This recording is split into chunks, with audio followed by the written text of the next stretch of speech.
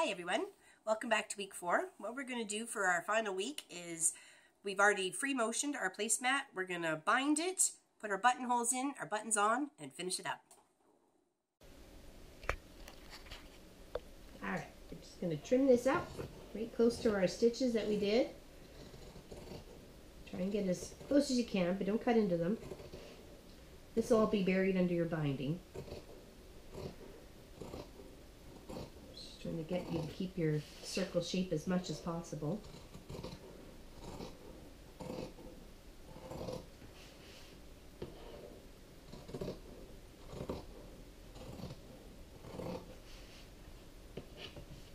Is a good pair of scissors.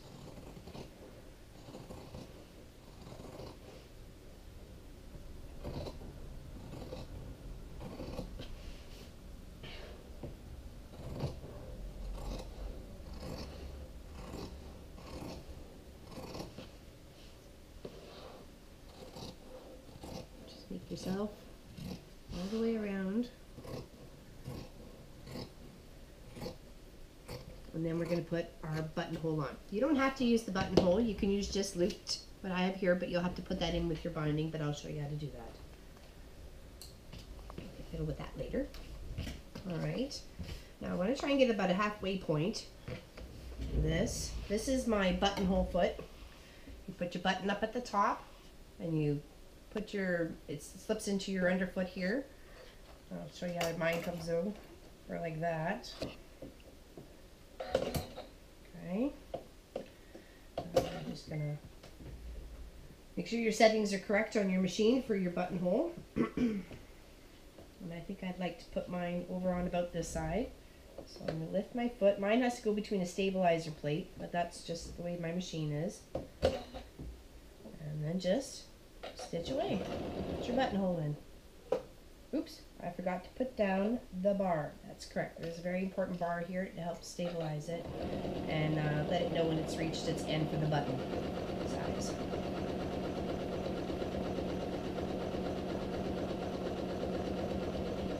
in just a few seconds, you got yourself a buttonhole. Try to have your buttons around the same size so no matter which place placemat is in which order, they'll always loop together. I have a different size, a couple of different size buttons. And then there's a bunch of different varieties you could use here if you didn't want to use your buttonholes, you can use that ribbon. Alright, just cut my threads. Alrighty, and I'll show you real quick how to put your binding on. To finish off our placemats, we need to bind it with binding or bias tape. It's pretty much the same thing. It comes in a package like this, many different colors. I'll be using blue and black and white and pretty much clean up whatever I have. I prefer to go on the back side first and then flip over and stitch on the front. So I don't want, I'm going to come a little bit down from where I have my buttonhole. So you don't always see where you're sewing your binding onto from one project to the next. I probably should switch out my colored thread here. Just one second. It's too dark for what I was looking for. I don't want to see the threads. Sorry, one moment. And just do a nice little straight stitch and sew your binding on. And because it's circular, I'll give you a little tip at the end. I'll give you a little tip at the end on how to help it lie flat. So just nice little straight stitch all the way around, following the curve.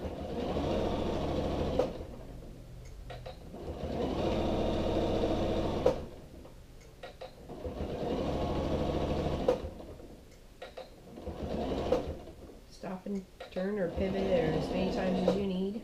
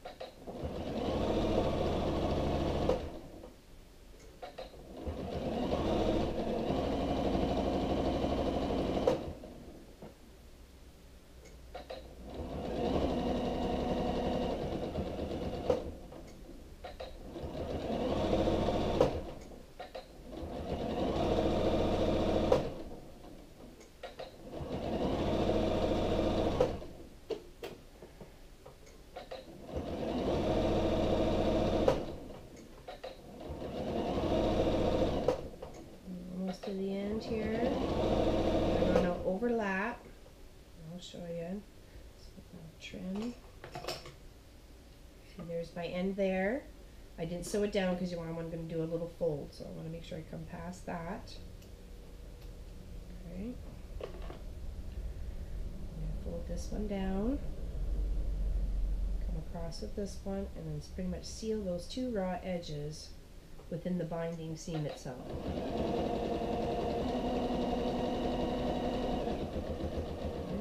And slow, don't forget to do a back stitch and mm, cut threads.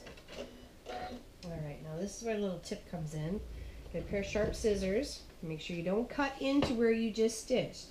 But you want to give yourself a couple, every couple inches, a couple of relief cuts. Because once that gets turned around, flipped and turned, you don't want to come up and bow like this because it'll just make up in little placemat holes. So just clip that and then sew the other side down.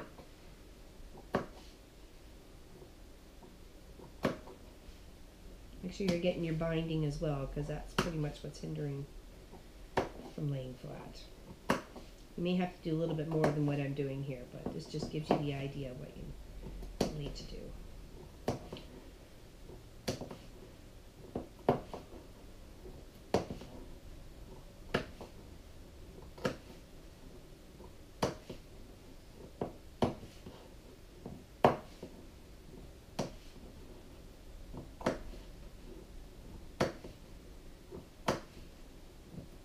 We're almost done our project though.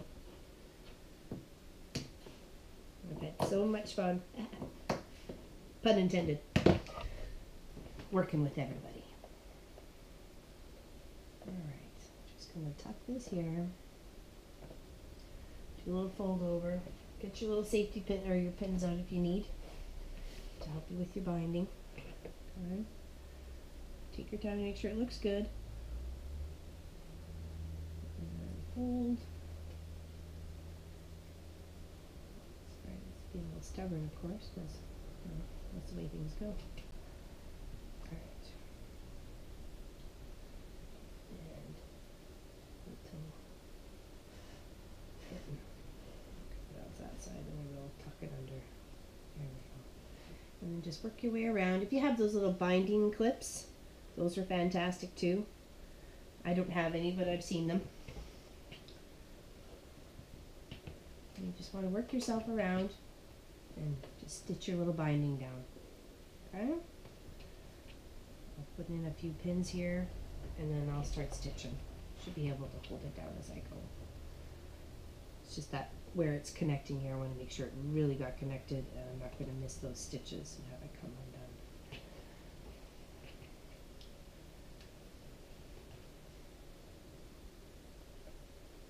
I hope you've had as much fun as I have. Making something spring. Spring like to get us over the winter blah.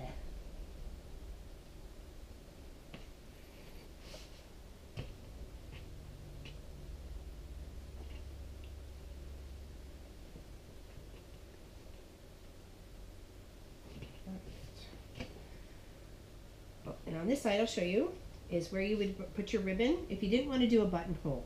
Okay, this is what you do. Just take your nice little thin ribbon or string or yarn or whatever it is you're wishing to do. Tuck it on this side, and then you're going to stitch it down when you stitch this edge of the binding down. So no matter what, it can loop into your next little project, your next placemat, right? With either button, or this is where you use your big wackadoodle buttons. That's where they come in handy. Okay, so I will just make sure this one gets a little pinned in there so we don't miss it. Alright. So either buttonhole or ribbon, either way looks really good. And if you use the ribbon, it's easy way to hang them up. If you hang them up on the wall on a peg or something like that, just loop them through the ribbon. I'm just going to fix this a little bit here before I stitch it down and want all those raw edges tucked under.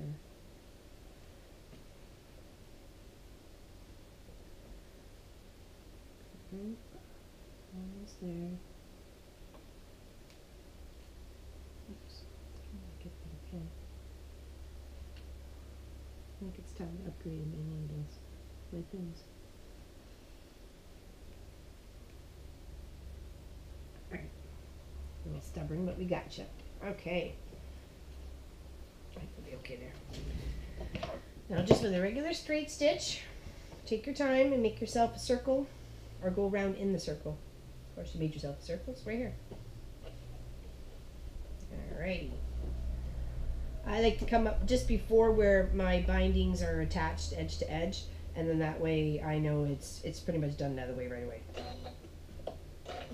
You can use a decorative stitch, a zigzag, a straight, whichever you like. There's many on your machine that you could use. I would just use a straight stitch to show you. But I have I have done zigzag and I think they look really nice. Okay, now when you take your pin out, make sure you got all your edges because you don't want to sew over your pins. The machine will not like it at all. Alright. And slow and steady, butter yourself around. And don't forget to get that ribbon. Alright, hold it. You can even do a little back step just to make sure it is in there good and tight. Yep.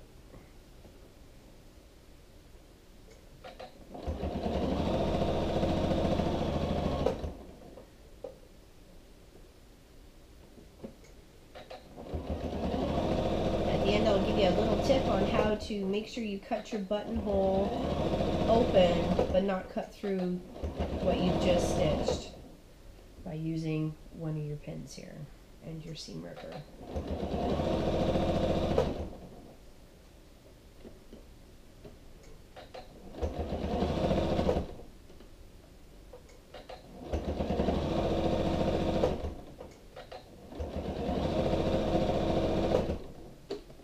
Mm, We're getting there. So excited to get all mine done. Can't wait to take a big picture of them all completed. to borrow somebody's table to do it.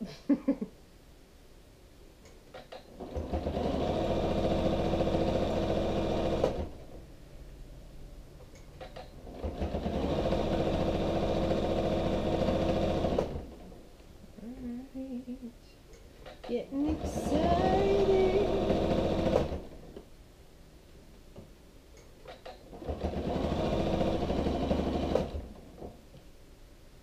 Almost there.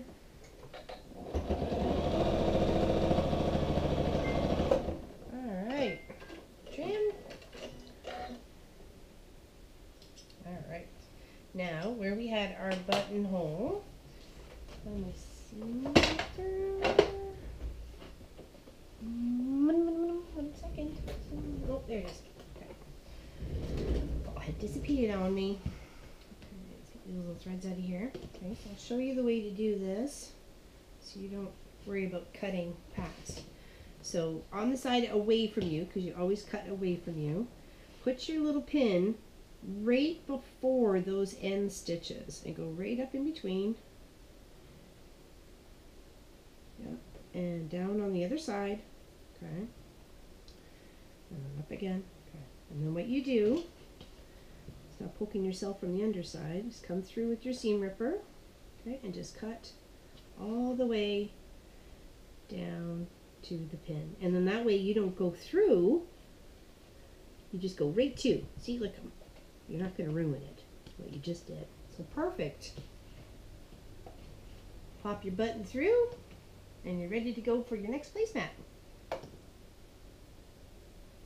Thanks for joining me.